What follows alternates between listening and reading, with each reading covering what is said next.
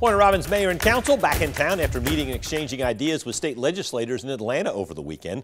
Molly Jett spoke with Mayor LaRhonda Patrick and Councilman Derek Mack to find out what they learned and what they're working on.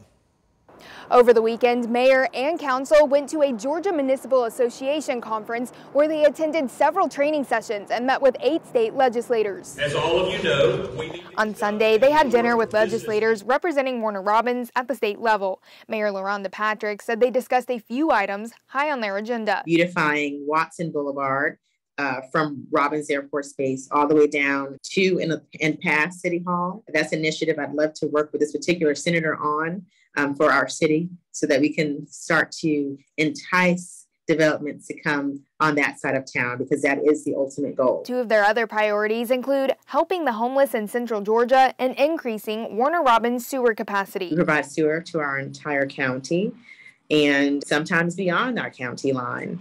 And it's important for us to have the capacity so that we're able to continue growing. It was all a part of Georgia's 2022 Cities United Summit. Wherever I went, everyone was uh, asking me, um, "Is your mayor here? Is your mayor here?" According to Councilman Post 1 Derek Mack, they introduced her to several new faces and learned new tools in several classes. Some of their courses focused on topics like ethics, diversity, and economic development. With that training, it's very helpful. It, it's necessary.